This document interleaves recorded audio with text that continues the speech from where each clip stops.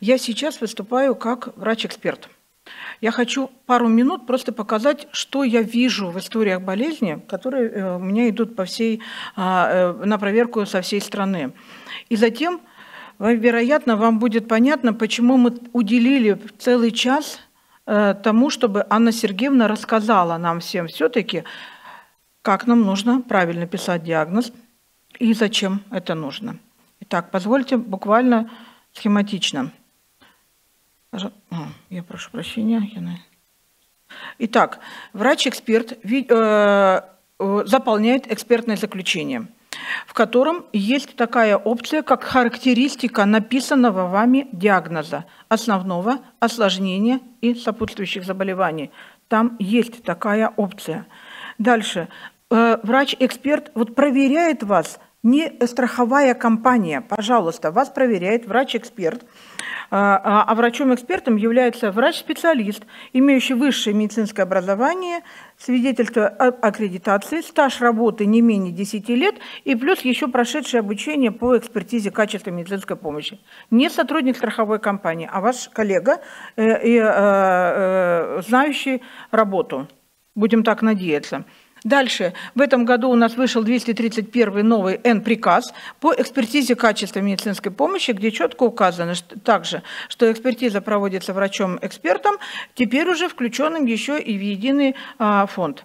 Итак, не, в конце этого приказа я рекомендую всем ознакомиться. Есть э, несколько листов по, по критериям, за которые эксперт наказывает проверяемую им компанию, э, извините, клинику.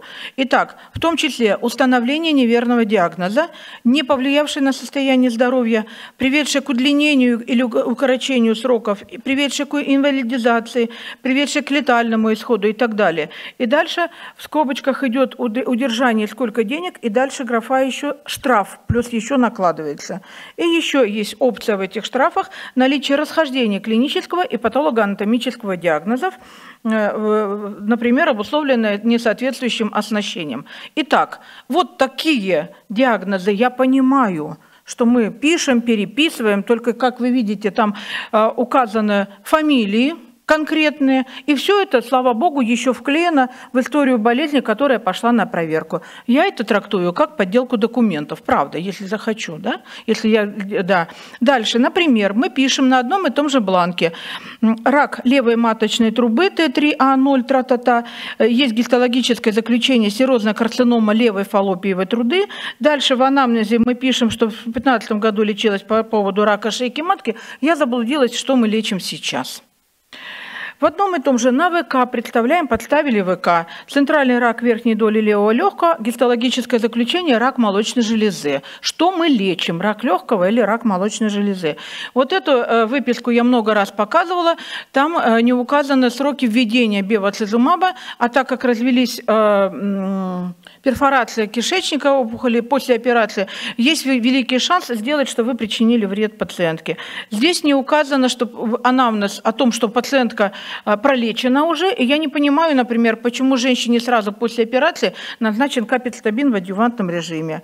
А, на следующем бланке диспансерное наблюдение. Просто рак э, э, э, отдела толстой кишки, хирургическое лечение в 2017 году, сейчас рецидив в зоне анастомоза, заключение диспансерное наблюдение. Замечательно. То есть мы отказали в помощи пациенту.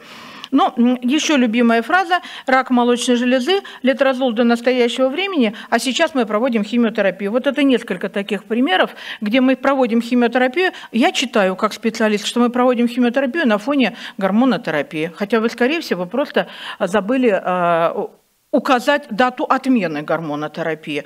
Ну и вот из того, что я видела, наилучшие, мне кажется, диагнозы написаны четко. А то, что мы не пишем сопутствующие и осложнения в 99% случаев, я просто промолчу пока. Вот. А вот наиболее понравившиеся мне э, диагнозы того, что я видела пока из, из э, своей работы, где четко указан хороший диагноз основной, сопутствующие осложнения. А как на самом деле нужно правильно писать, нашему профессору дадим слово. Спасибо большое.